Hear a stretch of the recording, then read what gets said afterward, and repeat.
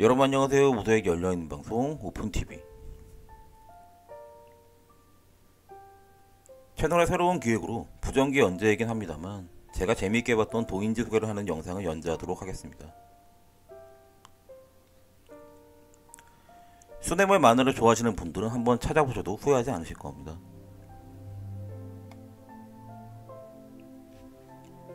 제가 오늘 소개해드리는 첫 번째 작품은 사춘기의 공부라는 작품입니다.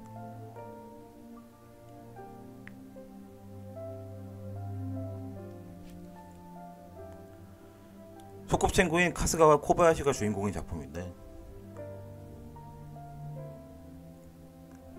호기심 많은 여학생인 카스가는 남자아이들의 몸은 어떻게 생겼는지 궁금하던 차에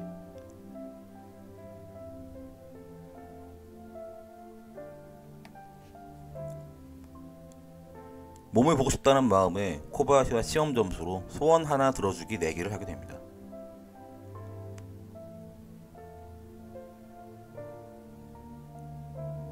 평소에 공부를 잘 하지 못하던 카스가였지만 오직 남자의 몸을 보고 싶다는 일념으로 온 힘을 다해 공부를 합니다.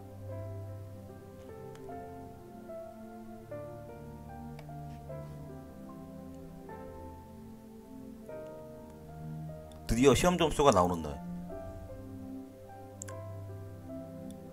놀랍게도 평소에 공부를 잘 못하던 카스가는 100점을 받아서 코바야시와 동점을 만듭니다.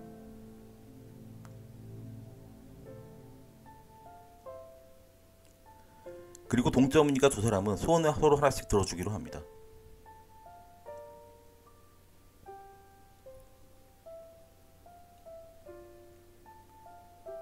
말은 하지 않았지만 속으로는 카스카를 좋아하던 코바야시는 정말 수줍게 카스카의 지우개를 달라고 부탁하고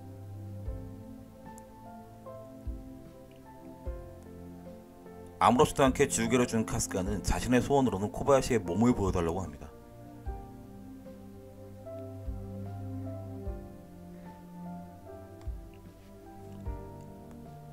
카스카의 말은 놀란 코바야시는 안 된다고 하지만 아무 소원이나 들어주기로 했는데 안 해준다며 울어버리는 카스카를 보고 결국 마음을 바꿉니다.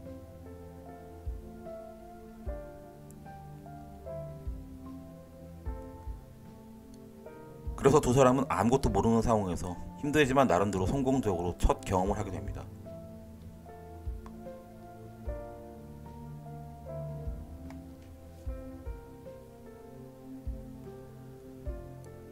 카스카가 줬던 지우개의 냄새를 맡는 코바야시.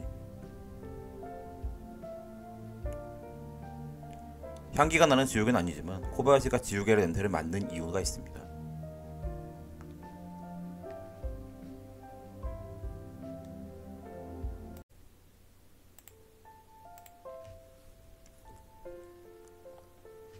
작품은 2편으로 이루어지고 역시 호기심 많은 소녀인 카스카는 인체의 신비 책을 보던 중에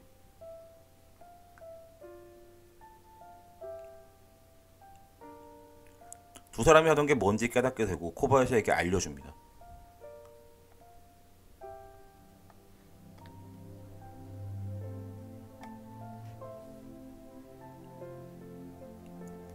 갑자기 무서워진 코바야시는 앞으로는 이런 일을 하지 말자고 하고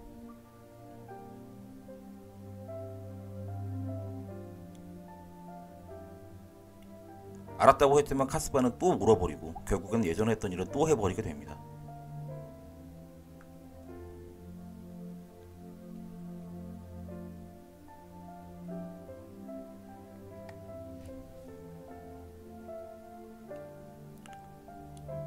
시간이 좀 흘러 지나갈 하게 되자 카스카는 점점 예뻐지고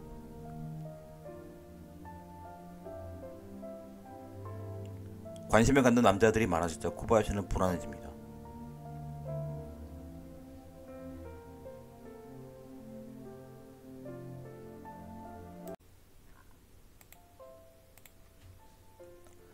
3편으로 이뤄지며 두 사람은 진학을 하고 코바야시는 점점 예뻐지는 카스카가 부담스러워집니다.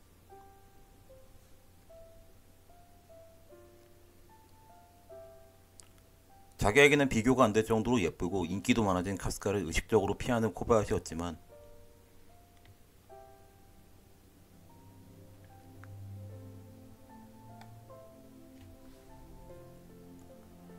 우연히 두 사람이 같은 장소에 있게 되는 상황이 벌어집니다. 결국 어쩌다 보니 두 사람은 체육 창고 청소를 하게 되고 열심히 청소를 하고 나가려는데 체육 창고 문이 잠긴 것을 깨닫게 됩니다.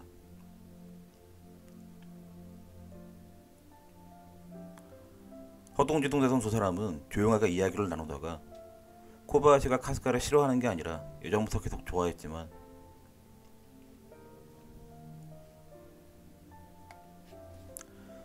카스카가 너무 예뻐져서 말을 못 걸었다는 이야기를 듣고 오해가 풀리면서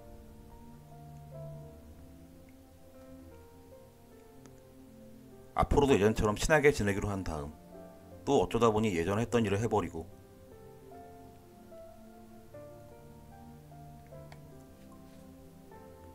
앞으로는 예전처럼 친하게 지내고 이것저것 같이 하기로 합니다.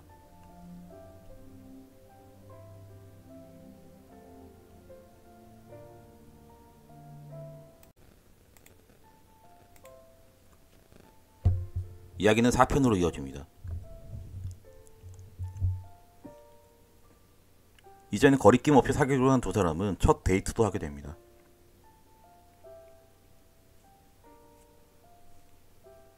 눈치 볼 것도 없는 상황이니 손만 잡아도 달아오르게 된 두 사람은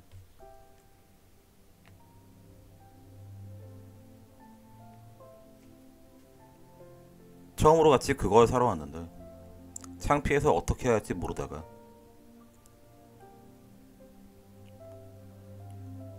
카스가는 정원에게 잘 안 보이게 하기 위해서 과자 밑에 숨기기로 합니다.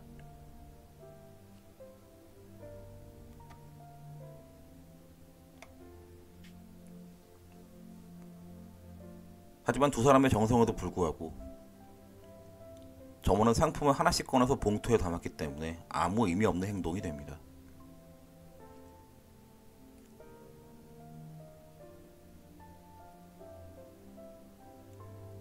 예전과 달리 첫 데이트를 집에서 하게 된 두 사람은 나름대로 즐거운 시간을 보내고 첫 데이트가 이런 식이라 걱정하는 코바야시에게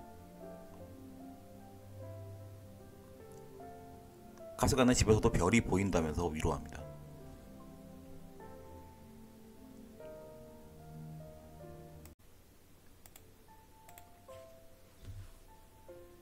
오편으로 이어진 상황에서도 좋은 관계로 지내고 있는 두 사람은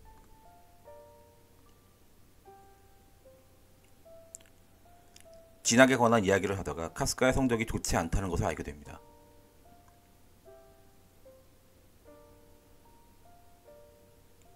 일본에서는 지원하는 학교에 들어갈 수 있는 점수 판정을 알파벳으로 하는데 A가 안정적이고 E는 가장 좋지 않은 등급이지만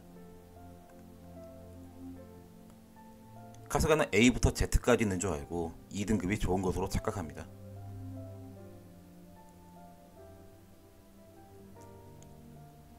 이러다가는 같은 학교를 갈 수 없게 될지도 모르기 때문에 두 사람은 당분간 만나지 않기로 하고 카스카도 열심히 공부하기 시작합니다.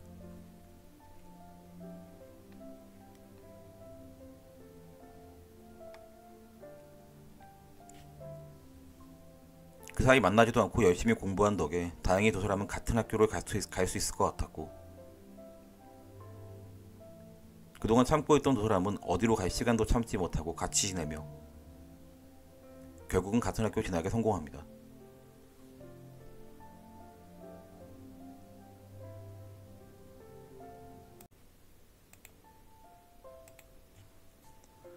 (5.5편에서) 두 사람은 수영 수업 시간이었지만 둘이 빠져나갑니다. 어릴 때부터 남달랐던 카스카의 호기심은 조금도 줄어들지 않았습니다.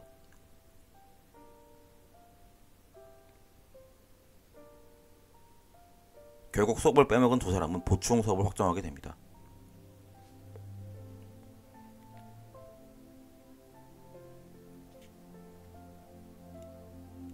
드디어 마지막 편. 대학생이 된 두 사람은 처음으로 숙박 여행을 떠납니다.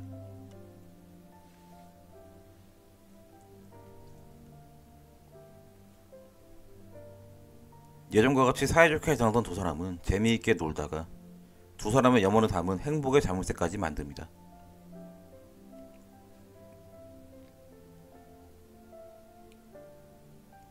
그리고 두 사람은 이미 가족이 공인한 커플이기 때문에 굳이 그럴 필요는 없었지만 카스카는 가족들에게 거짓말을 하고 여행을 왔습니다.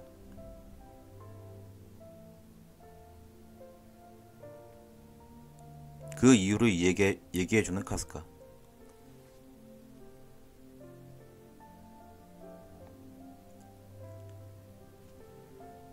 카스카는 드디어 코바야시에게 마음에 담아왔던 이야기를 합니다.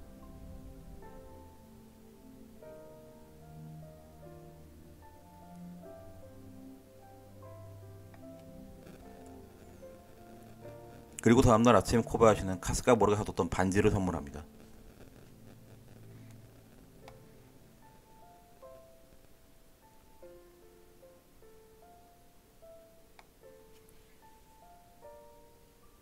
순수했던 두 사람의 친구가 아름답게 성장해서 결혼까지 성공하는 수뇌물의 정석과도 같은 작품.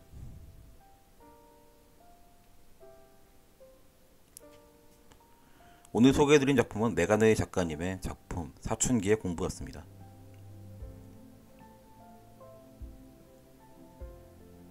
끝까지 시청해주셔서 감사합니다.